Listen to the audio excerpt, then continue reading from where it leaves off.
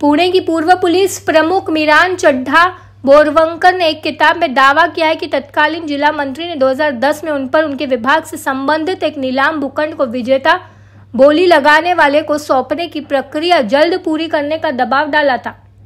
Madam commissioner, किताब में जिला मंत्री के नाम का उल्लेख नहीं है, लेकिन भारतीय पुलिस सेवा की सेवानिवृत्त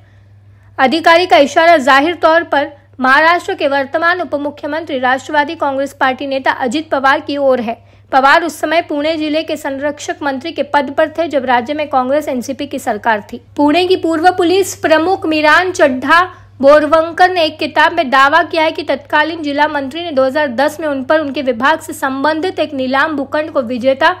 बोली लगाने वाले को सौंपने की प्रक्रिया जल्द पूरी करने का दबाव डाला था। मैडम कमिश्नर किताब में जिला मंत्री के नाम का उल्लेख नहीं है, लेकिन भारतीय पुलिस सेवा की सेवानिवृत्त अधिकारी का इशारा ज़ाहिर तौर पर महाराष्ट्र के वर्तमान उप मुख्यमंत्री राष्ट्रवादी कांग्रेस पार्टी नेता अजित पवार की ओर है। पवार उस समय पुणे ज़िले के संरक्षक मंत्री के पद पर थे, जब राज्य में कांग्रेस एनसीपी की सरकार थी।